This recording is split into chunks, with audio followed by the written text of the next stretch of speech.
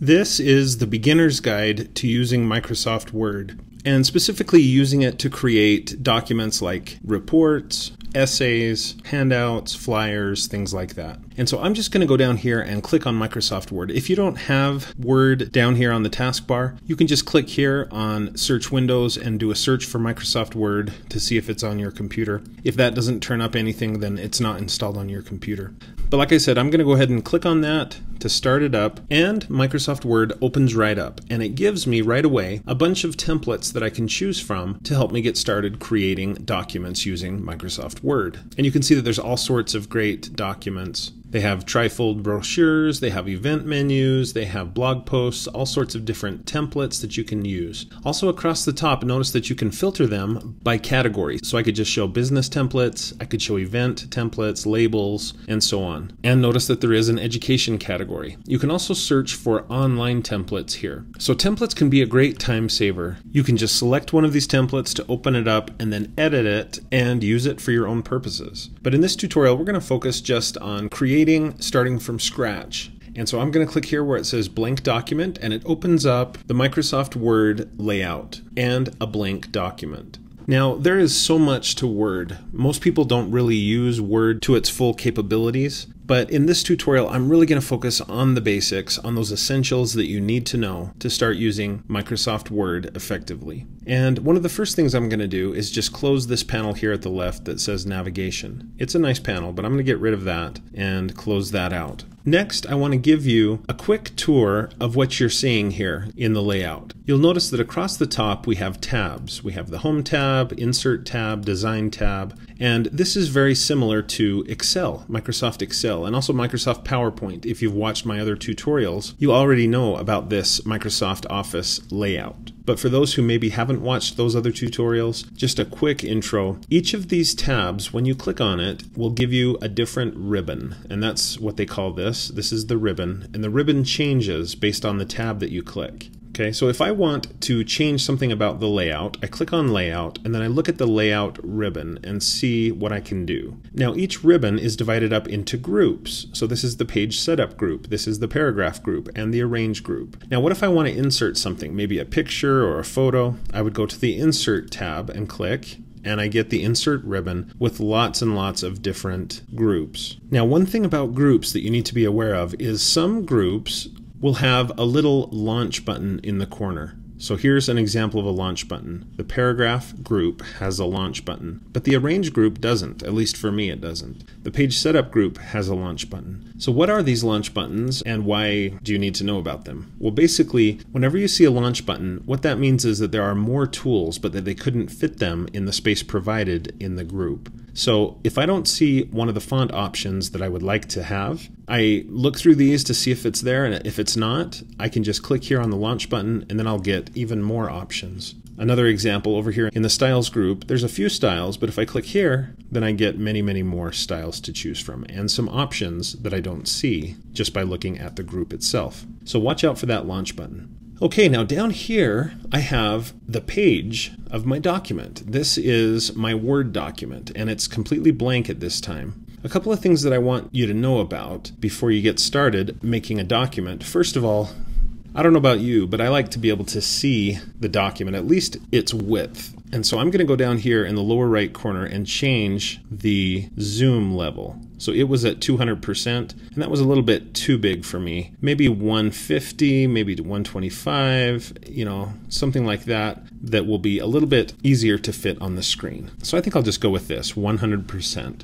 Now in this tutorial, I'm using Microsoft Word 2016 for Windows. But if you're using an older version of Microsoft Word or even a future version of Microsoft Word or Word for Mac, most of what I'm showing you will still be applicable. But one of the things that I kind of miss from an older version of Microsoft Word is I miss the rulers. I'm used to having a ruler across the top and also down the left side to help me know the size of the page that I'm working with. So I'm going to go here and look and see where might, might there be an option to show the ruler. And I would think it would be maybe here in the layout options.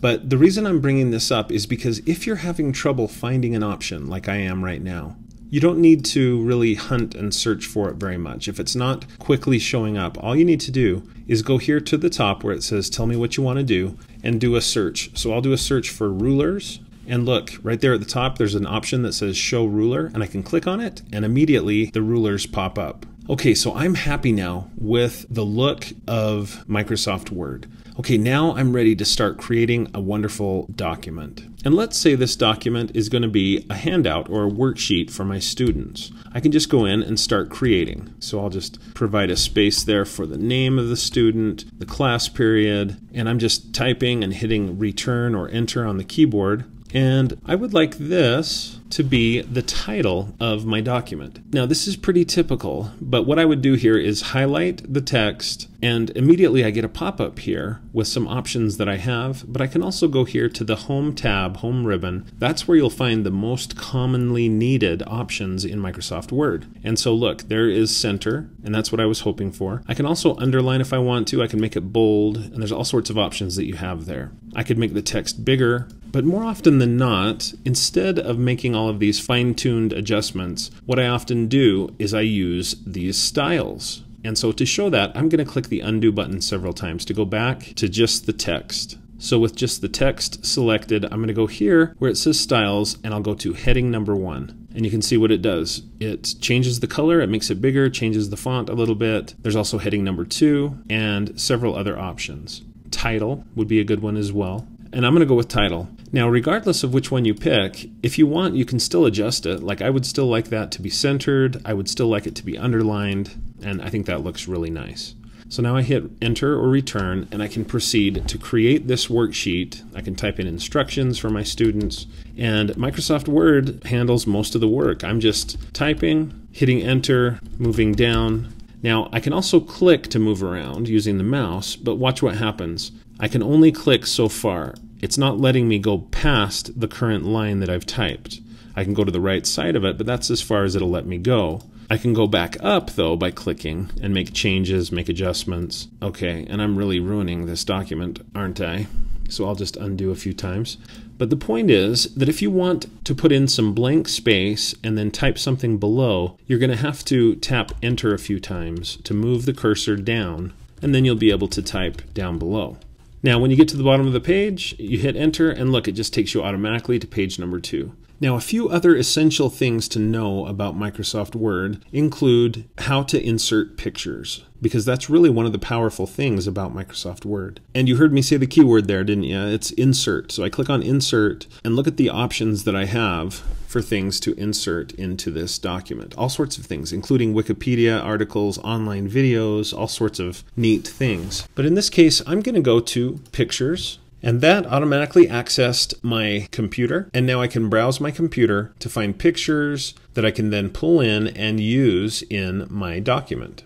So I'll pull in this skeleton. Now, whenever you put a photo or an image into Microsoft Word, it brings up some difficulties. For example, that is not at all where I wanted that photo to be. I wanted it to be here, in between the text up here and the text down below. And so this is a problem. The other problem is the photo came in way too big. So let's fix some of these issues. The first thing I'm going to do is click on the picture. Now, something subtle just happened. When I clicked on that photo, look what happened. I got an additional tab and ribbon that appeared at the top of Microsoft Word. And this is going to be very important. Anytime you click on something, especially something special like a photo or a video, it's going to give you some extra options. In this case, the format options. First thing I want to do though is just resize this image. So with it selected, I can just go to the corner, any corner, click and drag to shrink that photo down to size a little bit. And that's a lot better. Now, I still, I'm struggling. I'm trying to drag it up to the place I want it to be, but it's just not quite cooperating with me. The reason why is because this photo has some specific layout options that come pre-selected by default. And so I need to change those layout options. Now, in this latest version of Microsoft Word, when you click on a photo, you'll get this little button that pops up. You can then click on it to change the layout options. But just like in older versions of Microsoft Word, you also have the option to right click and go to wrap text, and that will give you the same options. So here in wrap text, I'm going to go with in front of text or behind text. Either one will work great. I guess I'll choose behind text. And now you can see what happened. Now it's moving much more freely. I was not able to do this before. I was not able to click and drag and put the picture wherever I wanted it to be. But just by changing the options to behind text or in front of text, now it's unlocked that photo and I can put it literally anywhere in this document that I want it to be. It could even be up here in the header or in the footer. It really doesn't matter. So that's a nice little trick that you'll want to know and be able to use in your own documents. I also want you to know that you can insert online pictures, and this is a great option. You can connect to the internet and do searches and find images, find clip art and things that are on the web, and then just click and drag to drop them into your project. So that's a really nice option to have. Now, before we move away from the photo and move on to other topics, I want you to notice this Format tab that I mentioned earlier. When you click on a photo and then the Format tab, it gives you some options to do some things that are really nice. You can remove the background. In this case, it wasn't very successful in how it removed the background. You can alter the color scheme in lots of ways. You can do some corrections and there's some artistic effects. And so there's some really pretty exciting things. You could come up with some creepy images here with this skeleton. I'm going to undo that. But these photo effects are really pretty nice. You can compress the picture as well and do some other exciting things. There's also some picture styles. For example, you can put a frame around Mr. Skeleton here, and there's all sorts of different frames. You can have a kind of a fuzzy border around the skeleton if you'd like. You can make it almost 3D with some of these 3D effects. So, some really nice options. You can also crop, and you'll be surprised how often this is helpful and necessary. So, when I clicked on crop, it gave me some additional lines and edges and things like that. So, I can use that to crop out part of the photo. Whoops. And uh, I have to make sure I get the exact line there. And then I can just click outside the box and it makes that crop effective. So watch out for this Format tab. It'll appear and give you some wonderful options that you need to be aware of. There are also all sorts of other great options, especially shapes are especially good. You can put in arrows, you can put in callouts, you can put in squares, rectangles, circles, plus signs, all sorts of great shapes that are useful, especially for teachers and students. And I want you to know that you can also add a text box. Now, how is a text box special? How is it different from the regular text that you're typing in? Basically, a text box is additional text that can float on top of your document. So I'm going to go with a simple text box and I'll type in a wonderful message here and then click away. This text box now can be dragged wherever I want it to go. Now it is interacting with that text, and if I don't want that to happen, I can use this button here to make it be behind the text, the other text, or in front of the text. I'm going to go with behind, and so now I can drag it freely. So similarly to how I fixed this photo and made it so that I could drag it anywhere I wanted it to be, it's similar with text that's in a text box. Okay, now here in the Review tab, a few other basics that you need to know about. Whenever you're writing a paper or a report or even a worksheet like this, it's important to get the spelling right. And you can see here on the Review tab, you can click Spelling and Grammar, and it will check for spelling mistakes. It looks like it found one. I don't know how I possibly misspelled this word, but I did. And if it can, Microsoft Word will suggest alternate spellings that are correct. In this case, I've got it stumped a little bit, so I'll close that out. But I just wanted to point that out. The spelling and grammar in Word is great and is really one of the basic essentials that you need to know if you're going to be using Microsoft Word. There's also some great options like word count. If you're a student and the teacher has said, I want you to create a 2,000 word essay or report, you can just click to get a word count and it'll tell you how many characters, how many words, how many pages, etc. There's also a wonderful thesaurus to help you use a variety of words instead of using the same word over and over. That's very helpful. Okay, so let's say you're done with your document and it's time to get ready to turn it in if you're a student and you're finishing an assignment, let's say, or maybe you're a teacher and you've put together what you want to print and give to the students. How do you go from there? Well, one of the first things that you need to do is to consider if you have the right line spacing and things like that, especially for students. Maybe the teacher has said, I want you to double space your paper.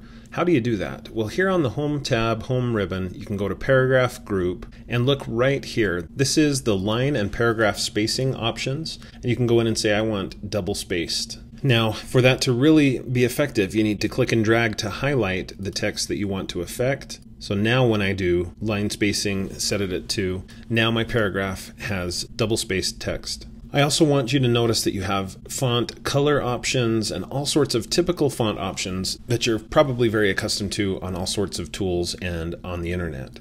There's different fonts to choose from here as well. Okay, so I'm happy with this. I'm, I'm good. Of course, I could change the margins at the left and right using this ruler tool, but if I don't want to mess with that, I'll just leave it as is. Now, to finish this off, I just go to File, and I have a bunch of different options. First, I really should save this, and I can click Save. I can save it just to this PC, and I could save it directly, let's say, to the desktop or to my documents.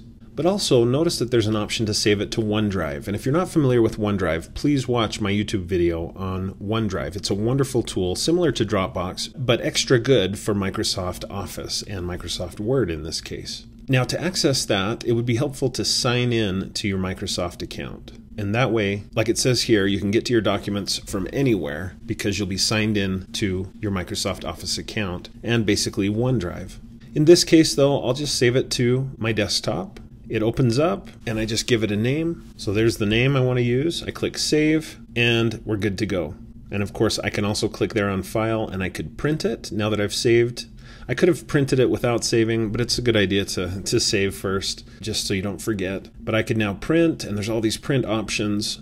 Now, in addition to print and save, notice what else that there is. There's export, and this is very powerful. I could create a PDF out of this document. So I can click that, save it, also to the desktop in this case. And so now, when I go to my desktop, look, there is a PDF document that I've created from inside Microsoft Word. And here's the original in Word format. So that's a nice, powerful option just built right into Word. So I'm done. So I'm going to close out of this document completely, go to my desktop. Let's say next week I need this same document. I can just go back to Word, open it up, and look. Because it was recently created, it shows up here. So this is a list of recently created documents on this computer, and there it is at the top. Now, as I use this more and more on this computer, I'm going to end up with 20, 30, 50, 100 documents. It might be nice if this is a document that I'm going to keep working on a lot over the next few weeks. It might be a good idea to try to get it to stay at the top of the list. Well, there is a way to do that. If you put your mouse on it, look, there's a little pin, and if you click that pin, it will pin this particular document to the top of the list. Now, I know right now I just have the one document, but imagine 500 documents. This document would remain at the top of the list because I pinned it. So that's a little trick that I think is helpful to know. So in this tutorial, we have gone over all of the basics that you need to know, all of the essentials that you need to know to start using Microsoft Word. Whether you're a teacher, whether you're a student, a business person, or you're just using this on your own at home. Microsoft Word is very powerful. You can use it to make all sorts of things.